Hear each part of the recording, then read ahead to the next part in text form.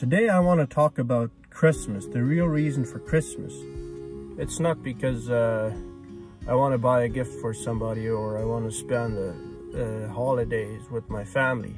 It's a good reason. It's uh, okay to spend time with your family. It's great. Let's not forget the real reason for Christmas. The real reason is Jesus Christ, who came to earth to save us all.